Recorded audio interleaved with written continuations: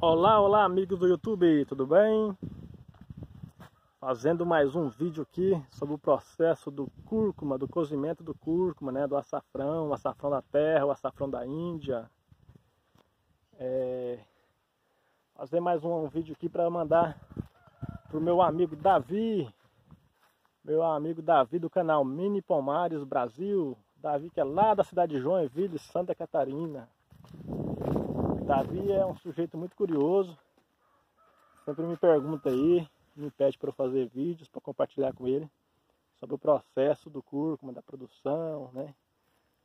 Plantio, colheita, beneficiamento, fazendo mais um vídeo aqui. Já mandei já mandei alguns vídeos para ele aí sobre o açafrão, mandar mais alguns aqui. Davi, hoje eu vou te mostrar, garoto, o processo do cozimento do cúrcuma. Aqui é um serviço bem, é um, um serviço bem rústico, né? A gente fez aqui uma fornalha de tijolo, tijolo de argila mesmo, né? E a gente cozinha aqui com fogo e lenha mesmo.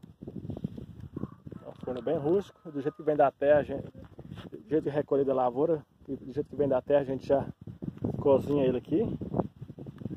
E só depois do processo de cozimento e secagem, né? Lá o terreiro de secagem.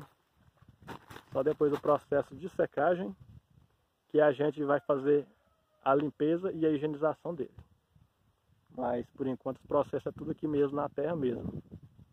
Do jeito que vem da lavoura a gente cozinha e depois coloca secar na terra mesmo. Mas depois de seco, depois de 25 a 30 dias, que a gente faz o processo de limpeza dele e higienização. Aí depois sim vai estar pronto para moer para fazer o pó. Então pessoal, compartilhando mais esse vídeo aqui com o Davi.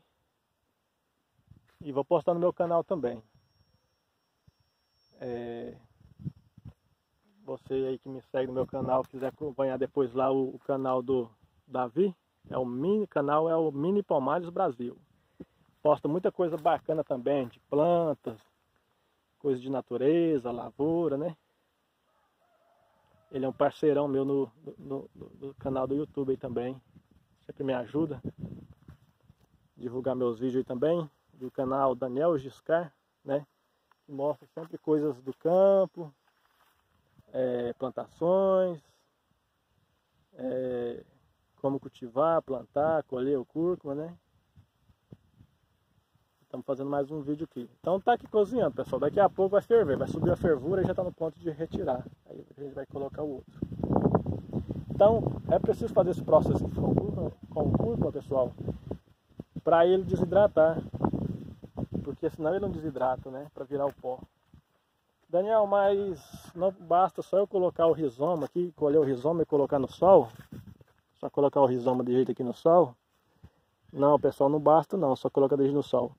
Você vai colocar o rizoma desse jeito no sol, vai ficar lá uns 30, 40 dias, 50, 60. Ele vai murchar por fora, mas por dentro vai continuar úmido, vai até estragar e não fica no ponto ideal de moer, né? Então a gente faz esse processo de cozimento ou de fatiamento, que eu vou estar mostrando outro dia. Processo de fatiamento, né? Para estar tá desidratando e depois estar no ponto de colheita. Aliás, no ponto de moer.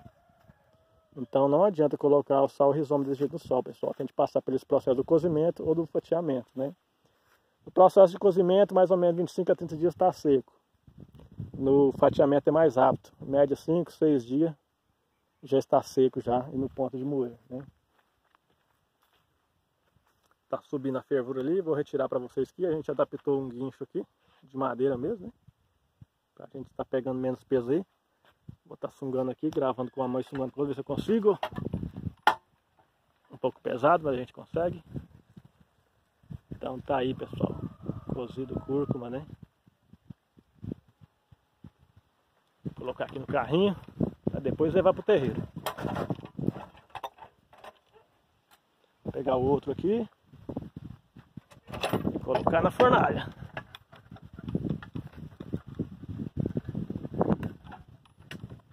Então o Davi lá do canal Mini Palmares sempre está procurando informações pelo açafrão, ele já começou a usar açafrão também.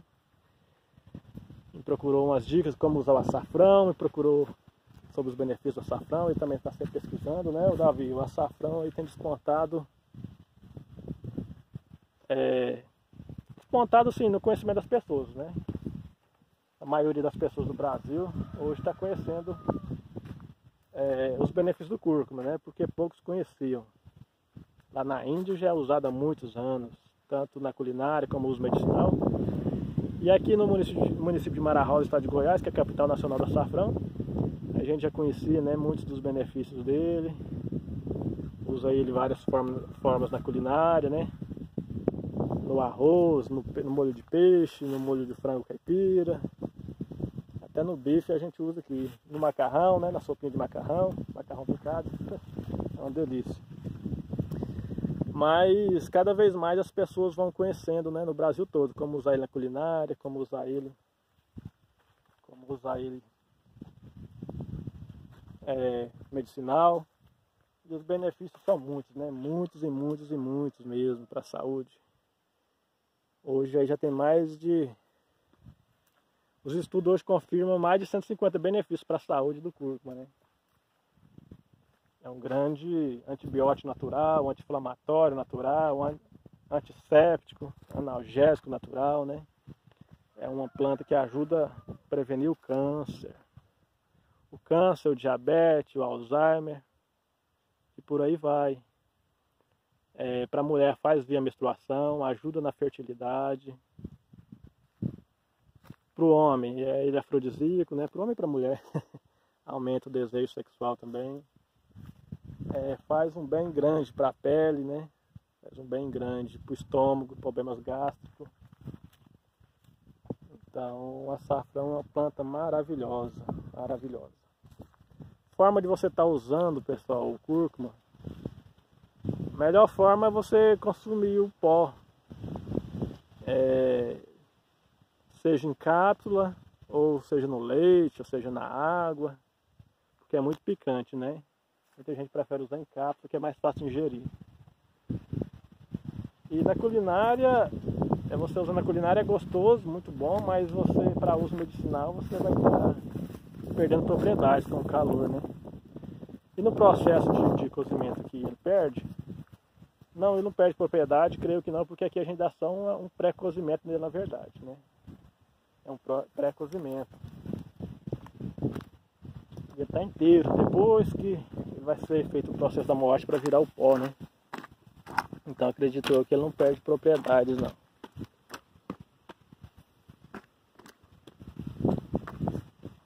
Então o açafrão, por experiência própria, faz um bem muito grande para a saúde. Eu uso todos os dias, eu uso ele em cápsulas. Né? É, depois que eu passei a usar diariamente o açafrão, passei a ter menos gripe, menos infecção de garganta. E eu tenho usado muito também para na intuição, no, intuito né, de aumentar a imunidade. Para a gente ficar mais forte, o organismo ficar mais forte caso venha contrair o coronavírus, né? A gente fazer, eu faço o máximo possível, né? Para não pegar esse tal de corona. Eu uso máscara, álcool gel, procuro evitar aglomeração, evito sair muito da cidade, né? Mas eu já cuido também da minha saúde, né, do meu organismo, da minha imunidade, caso venha acontecer de eu pegar, meu organismo esteja bom, né? Esteja forte. Para resistir, né? Para sarar mais rápido, né, do Covid. Então, pessoal, é isso aí. Você vai estar acompanhando esse vídeo no meu canal, Daniel Giscar. E também lá no canal Mini Palmais Brasil. Forte abraço aí, Davi. Valeu, garoto. Valeu, pessoal.